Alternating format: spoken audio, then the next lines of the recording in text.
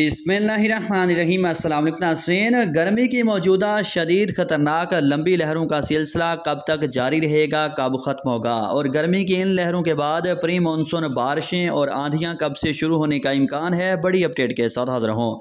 تازہ ترین موسمی صورتحال کے مطابق آنے والے مزید سات سے آٹھ روز کے دوران بھی مئی کے بقیہ دنوں میں پنجاب، سندھ، بلوچستان، خیبر پختونخوا سمیت ملک کے زیادہ تر علاقے خشک موسم اور شدید گرمی کی لپیٹ میں رہیں گے اور مختلف علاقوں کے درجہ حرارت اڑتالیس تا باون ڈگری سینٹی گریڈ تک بھی ریکارڈ ہونے کا امکان، اس لیے کسان شہری محتاط رہیں اور غیر ضروری دھوپ میں باہر نہ نکلیں۔ ناظرین، آپ کو اپڈیٹ کرتا چلوں کہ پاکستان میں باقاعدہ مونسون بارشوں کا اصل وقت جون کے آخر سے لے کر جولائی اور اگست کے مہینے ہیں۔ اور اس بار تمام عالمی موسمیاتی اداروں کے مطابق پاکستان میں مونسون دو ہزار چوبیس کے دوران معمول سے زیادہ اور شدید بارشوں کا امکان۔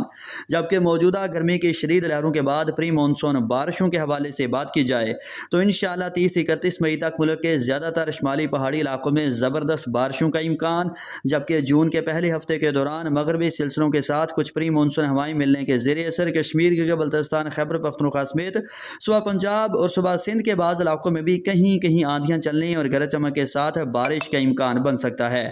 تاہم ناظرین، نوٹ فرما لیں، زیادہ موسلادھار پری مونسون بارشیں پانچ جون کے بعد ہی شروع ہونے کی توقع ہے۔ طلبرز اپنے علاقے کا موسم جاننے کے لیے شہر کا نام کومنٹ کریں۔ اللہ حافظ۔